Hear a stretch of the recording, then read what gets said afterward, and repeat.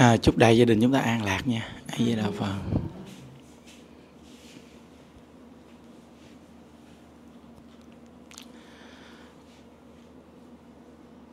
À, chúng ta à, mỗi người mình à, gặp được Phật pháp à, cái tâm biết ơn à, à, vị thầy à, sức thế gian và vị thầy thế gian nó lớn lắm quý vị nhưng mà trả cái ơn đó đặc biệt nhất là mình mang cái tâm này nè quý vị. Tại vì thầy à, sức thế gian cũng dạy mình vậy mà vị thầy thế gian cũng dạy. Cái chỗ là ơn nên nhớ, quán nên quên. Nhớ kỹ cái ơn mà mình à, mình nhớ thì con người mình sẽ sống đặc biệt tốt. Còn cái quán mình quên thì nghiệp mình tiêu đúng không? Nếu mà con người mà quay ngược lại mà quán thì nhớ, mà ơn thì quên thì nghiệp quý vị thì tăng lên chắc chắn à. nên từ nơi đó mà ngày 20 tháng 11 ngày nhà giáo Việt Nam, chúng ta cảm ơn à, vị thầy sức thế gian dạy xuống thì mới có vị thầy thế gian để hướng dẫn mình. Cái tâm biết ơn đó không phải là chúng ta, nếu mà nói về thế gian thì tùy vì phù hợp. Nhưng nếu nói về người tu giải thoát thì, quý vị chỉ cần cố gắng niệm phật, cố gắng à, mỗi người mình cố gắng sửa đổi lỗi làm cho tốt là được. Nhớ cái câu quan trọng, trả ơn cho các ngài bằng cách là quán nên quên, ơn nên nhớ thì tức khắc cái vị tu hành nghiệp chướng tiêu trừ. Còn quay ngược lại thì nghiệp quý vị cứ tăng hoài. Thì biết rằng là cái thế giới cực lạc á, mà khi mình được sanh về mà nghiệp tự tiêu là ngay chỗ nào? Vì ơn người ta nhớ quán người ta quên. Quý vị đọc trong kinh có bao giờ mà nói người ở thế giới cực lạc mà người ta báo quán không, không có đâu. Người ta nhớ ơn nên mới là thượng thiện bậc thượng thiện ở chung một chỗ nên không có cái tác động của báo quán, nên nghiệp tự tiêu. Còn mình ở đây tại sao mà nghiệp nó cứ tăng suốt? Tại vì mình tu được một chút là mình phá sạch, xong mình mang tâm báo thù. Nó dù cho bây giờ người ta giúp mình bao nhiêu lần, mà mình chỉ cần nghe cái điều gì của người ta thôi là bản thân mình đã trở mặt quay lưng, thì nghiệp mình cứ tăng suốt thôi mình cứ nghe nhân quả mình nói mình tin nhân quả. Nhưng mà thật, thật sự bản thân đâu tin nhân quả đâu. Có những lúc mình khổ nhất có những lúc mình chán nản nhất có những lúc mình khó khăn nhất thì người ta giúp mình thì mình quên. Nhưng người ta cái gì người ta không tác động mình mình cũng ghét không thích. Nên nghiệp mình cứ tăng suốt lên. Nghiệp nó không tiêu mà nó tăng là do mình cái tâm mình quán hận quán thù. Đó là cái điều mà mình tu hành mà mình cảm ơn người thầy dạy mình bằng cách là quán nên quên ơn nên nhớ. Mà người thế giới cực lạc là người gì thế? Nếu mà cái nhân niệm phật quý vị mà sanh tâm như vậy thì quý vị thành công là chắc chắn luôn. Đó, bây giờ nó khỏi nói cao xa chứ. Vì nó có nói cao xa thì cũng không làm được đâu. Mà việc đó tuy bình thường nhưng nó cũng là phi thường rồi đó. Thì thấy cái đa phần con người thế gian mình phần nhiều là gì? Nhớ quán mà quên ơn đa phần luôn. Nếu vị làm được là mình là người tu hành niệm phật, muốn sanh cực lạc mà nhớ ơn mà quên quán thì tuyệt vời quá. Này quá đặc biệt luôn. Nên những đức ờ, bắt tay vào cái việc là tuyệt đối bản thân mình từ đây tới chết không bao giờ nhớ quán thù. Nhớ ơn không nhớ quán. Một trăm phần trăm tôi làm được, vì sao? Tôi muốn giảng sanh. Không phải nói chín chín mà là một trăm phần trăm tôi phải làm được vì sao tôi muốn giảng sanh? Còn nếu như quý vị nói muốn giảng sanh mà mỗi ngày mà muốn báo quán hoặc buồn giận hẳn trách người để trong tâm thì quý vị khó giảng sanh lắm. Vì cái tâm đó gọi là chướng ngại con đường giải thoát. Quý vị phải nhớ rằng mình niệm Phật sanh cực lạc không phải mình chờ tới về thế giới cực lạc mới hết khổ đâu. Mà cái pháp niệm Phật là cái pháp hiện đời tu, hiện đời an lạc. Hiện đời an lạc là nhân khi cuối cuộc đời, cái quả sanh cực lạc là đúng như vậy đó. Còn nếu hiện đời tu mà không an lạc, hiện đời tu mà phiền não, giận trách, mà mỗi ngày cứ nói muốn sanh cực lạc gì cực lạc mới hết khổ. Mình cứ nghĩ như vậy thì cái nhân mình không phù hợp. Giống như hạt giống mình trồng xuống đất, mình phải chăm sóc nó cái cây rồi nó tốt đồ. Xanh tươi tốt, nó đủ sức thì nó mới ra hoa và kết quả tốt chứ. Nếu như cái cây mà ốm yếu, mà eo ọt khó nuôi muốn chết luôn rồi ở đâu mà có hoa và có quả đó, đặc biệt cho mình ăn nghe không? Nên cái quả ở thế giới cực lạc thù thắng thì cái nhân địa tu phải thù thắng. Mà cái nhân địa tu thù thắng là chỗ nào? Là cái tâm mình nó là nhân địa. Chứ đâu phải nói quý vị đi làm từ thiện lớn rồi quý vị đi đi đi, đi lại tùm lum chỗ không phải. Mà là ngay cái chỗ lại ra cái tâm phật mình lại ra tự tánh phật mình và bản thân mình phải hành trì được cái việc là ơn nhớ quán quên. Cái này quan trọng nè. Cái đoạn mà tâm sự này là quan trọng, cái câu là ơn phải nhớ quán phải quên. Thì nghiệp chướng tiêu trừ liền. Người còn sống với người đã chết gì cũng vậy hết. Tức khắc nó thâm nhập cảnh giới liền. Tại vì cái ơn mình mình nhớ thì con người mình nó tự tại liền chứ gì đâu. Nó nghe cái ơn mình nhớ là người mình tự tại liền. Quý vị để ý, lúc quý vị mà hạn trách là quý vị đã khổ tâm liền. Ăn không ngon ngủ không yên liền đúng không? Đó, nên mình ăn ngon ngủ yên là ngay cái tâm biết ơn. Dù cho người ta não hại mình mình cũng cảm ơn. Vì giúp cho mình tiêu trừ nghiệp trước. Cái này là cái quan trọng nè. Trong cuộc đời không có thiệt thòi. Khi mình đã tin nhân quả thấy không thiệt thòi. Như bản thân những đức nếu nếu mà nhận thức không sâu sắc thì thấy mình bị thiệt thòi. Nhưng mà nhận thức sâu sắc thì thấy mình đang hưởng phước vì mỗi ngày đang được tu hành. Và tự nhiên cái tâm giải thoát nó phát triển. Còn nếu không thì nó lao theo trần cảnh có khi nó không còn cái tâm giải thoát gì hết. Nên như đức khuyên quý vị tránh bớt nơ thị phi. Tránh bớt nơ ồn ào thị phi.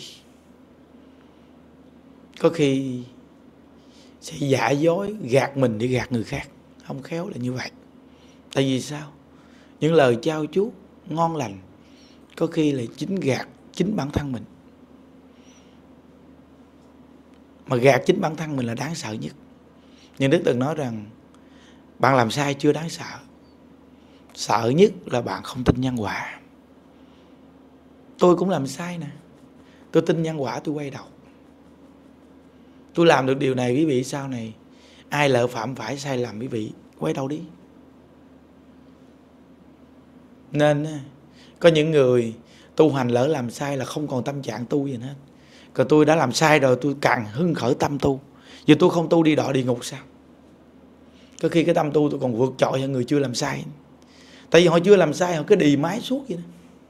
Cứ tịch tịch tàn tan còn tôi đã làm sai rồi, thì tôi phải vượt lên chính mình để làm chi? Tôi phải về thế giới cực lạc. Có khi nó còn đặc biệt hơn hiểu không? Nên mong quý vị rằng gặp được pháp môn niệm phật này cái tâm nhớ ơn nó không phải là hình thức bên ngoài, như năm xưa ấn tổ còn thể thế. Ngài dạy người niệm phật, người đến cảm ơn ngài, mua quà cáp cho ngài ngài nói rằng, cứ về lo mà niệm phật. Đó là bảo ơn chân thật. Như hạnh nguyện của phổ hiền bồ tát dạy y giáo tu hành cúng dường là thù thắng nhất.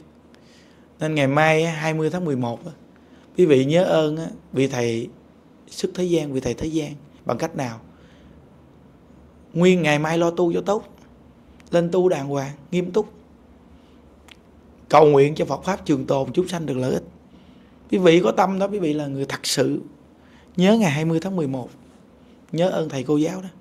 Còn nếu như thầy cô giáo thế gian thì, quý vị thấy phù hợp thì phù hợp chỗ nào, hành trì chỗ đó. Ý nói rằng, có những món quà cáp phù hợp thì cái đó cái chuyện của quý vị. Còn những đức nói nếu vị thầy sức thế gian thì y giáo tu hành, niệm phật hồi hướng. Và niệm phật cũng hồi hướng cầu an cho vị thầy thế gian, cô giáo thế gian cũng được. Việc đó cũng cực kỳ thù thắng. Nên những năm trước, những đức ở chùa, những ngày tháng này, nhiều người biết những đức đến. Có những cái lễ, ngày 20 tháng 11 cũng đông người lắm. Chương trình này, chương trình kia.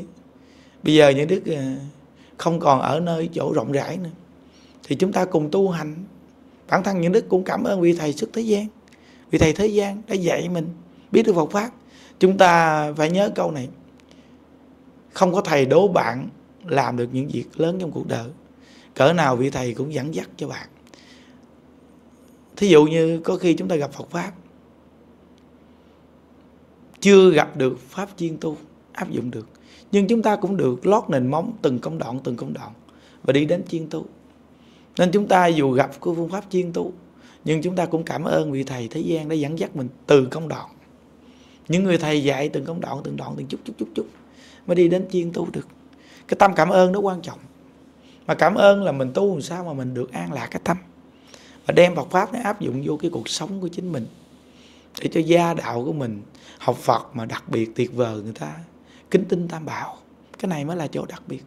Nên những đức khi mà dụng công tu những đức mới thấy rằng, đời này chúng ta phải cố gắng nỗ lực để về cực lạc. Không thể nào mà xạo sự mà về cực lạc được đâu Đúng không? chúng ta có thể gạt thế gian nhưng mà không gạt được nhân quả, một trăm phần trăm. Nếu người thật sự tin sâu nhân quả, chúng ta làm sai, chúng ta không cần giấu người khác. Vì sao? Giấu là chữ lại. Giấu là chữ lại. Trong khoảng thời gian những đức tu hành, nó thật sự những đức cũng làm rất nhiều việc ý nghĩa trong cuộc đời lắm á. Và đến khi những đức gặp sự cố nghiệp duyên đến, thì những đức cũng tiêu nghiệp chướng vì sao? Vì bị chửi thoải mái. Từ nơi đó mà tương lai những đức giảng sanh cực kỳ cao. Vì những đức đã phân trành rõ ràng. Mình làm sai, dám nói mình làm sai. Vì sao? Tôi muốn về cực lạc. Tôi không muốn xuống tam độ ác đạo. Mấy mươi năm ngắn ngủi thôi mà người không đủ bản lãnh giấu che việc sai của mình. Thì bản thân mình đi xuống tam đồ ác đạo mà ở thôi. Mình muốn về cực lạc, thì con người ai cũng có cái nghiệp. Đến lúc quay làm sai là phải làm sai thôi. Đến lúc quay đầu là phải quay đầu thôi. Nên quý vị phải nhớ kỹ điều này. Người niệm phật giảng sanh không phải là nói những lời trao chuốt hay mà giảng sanh đâu. Mà trong cái làm hay, trong cái làm dở của bạn bạn phải nhận thức được sâu sắc nên từ nơi đó mà thời gian bây giờ những đức được dụng công tu nhiều, rảnh thì bấm số niệm phật. Những đức thấy rất là đặc biệt. Nếu như quý vị ở nhà mà có thời gian thì cố gắng lên từ khóa tu. Rảnh thì chúng ta bấm số niệm phật. Mót câu phật hiểu đại lão hòa thượng chí tịnh khi còn thể thế ngài nói rằng tu mót quan trọng. Có khi tu mót mà còn nhiều hơn thời gian tu thiệt của quý vị nữa đó. Nên như đức đưa ra cái thời gian tu rất là ít vì tu một chút là xong. Giống như cả ngày cứ mót mót, điều điều. Giống như mình ăn mà quá nhiều nó cũng đau bao tử. Còn nếu như mình ăn mà vừa vừa vừa vừa vừa vừa thì bao tử mình nó tốt. Nên cái pháp tu của mình đưa ra là tu vừa vừa thôi. Mà tu khỏe, mà tu thèm. Tu sao mà tu hoài được nghe. Chứ đừng có tu mà một ngày mà ngán 29 ngày. Này chịu thua. Giống như ăn thiệt no một ngày, nghỉ 29 ngày cũng chịu không nổi nên chúng ta ăn cái điều điều điều điều đi bao tử sẽ tốt thôi. Nên cái cách tu này gọi là cái cách tu phù hợp từ già trẻ, bé lớn, đều tu được hết. Và bầu tu cũng được, Đúng không? nên từ nơi đó mà cái cách tu này bị nên trân quý và áp dụng. Nhớ kỹ, muốn gì cực lạc thì phải tính nguyện niệm phật, ha? Tin sâu nhân quả tính nguyện trì danh cầu sanh cực lạc. Sanh ra cái tâm gì? Quán hẳn nên quên ơn nghĩa nên nhớ.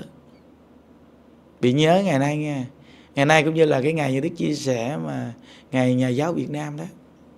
À, vì nhớ quý vị cảm ơn bậc thầy dạy mình thì hãy làm cái việc đó đi. Ơn nghĩa nên nhớ quán hẳn nên quên. Thì chắc chắn cuộc đời quý vị tu sẽ an lạc liền. Áp dụng câu này vào tất cả con người luôn. Từ vợ chồng sống với nhau gì nữa. Tại vì lúc ta thương mình chắc chắn có ơn nghĩa. Thì ơn nghĩa mình nhớ. Còn khi ta quýnh mình thì quán hẳn nên quên. Cái này rõ ràng xác thực rồi.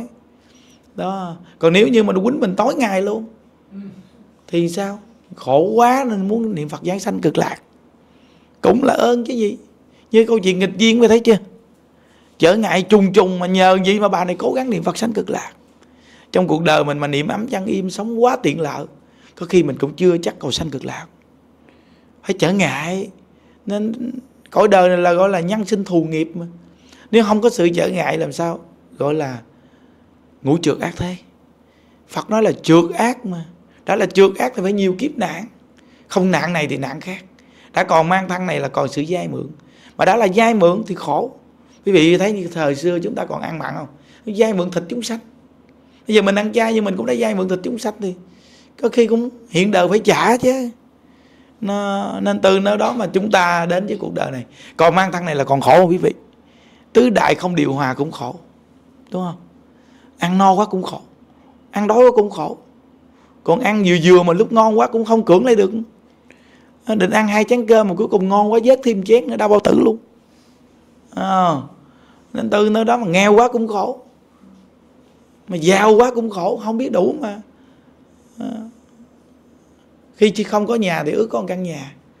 Nhưng khi có nhà rồi ước có căn nhà thứ hai, rồi căn nhà thứ ba, căn nhà thứ tư.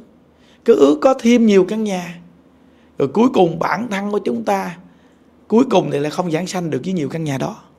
Vì chúng ta quá nhiều tài sản nên cuối cùng chúng ta vướng bận những tài sản đó mà không giảng sanh. Và có khi phải giải quyết nhiều vấn đề của tài sản đó để cho con cái sợ mình chết đi, thì tài sản này mắc làm sao? Rồi cuối cùng đến khi mình chết mà lo chưa xong nên cuối cùng mình bị vướng lại không giảng sanh. Trong cuộc đời này, nhiều cái khổ lắm. Nên phật nói khổ không nói hết mà. Nếu bạn giữ được sự an lạc thì tuyệt vời quá. Có những người, gia đình chỉ có một hai người, chưa chịu yên đâu. Phải đi vào một cái tổ chức nào lớn lớn để bám vào để cuối cùng dính một tổ chức lớn đi khổ. Có khi nhà mình có hai ba người gánh, chưa nổi, nhưng mà chạy đi tìm cái lớn để gánh. Nói rằng, tôi làm việc thiện lớn, nhưng mà cuối cùng gánh gì? Gánh phiền não. Nhiều lắm tại vì đức từ ở trong một tổ chức lớn ra mà, biết hết. Nên cuối cùng cái tâm tu giải thoát mình nó không phải, không đúng. Nếu thật sự giải thoát thì cứ âm thầm, lo ở nhà niệm phật đi. Thấy không? Tránh bớt nơi thị phi. Tránh bớt nơi thị phi. Gặp ai đủ duyên thì khuyên ta niệm phật. Đây là chỗ đặc biệt. Gặp ai đủ duyên khuyên ta niệm phật. Nhớ kỹ, quán thù nên quên ơn nghĩa nên nhớ. Đó là chỗ đặc biệt thì nghiệp chướng tiêu trừ để chúng ta về thế giới cực lạc nha. Chúc quý vị an lạc. Ai di đà phật. Ai di đà phật. Chúng ta hẹn gặp nhau cực lạc quý vị ơi. Ai di đà phật. Ai di đà phật. Ai di đà phật.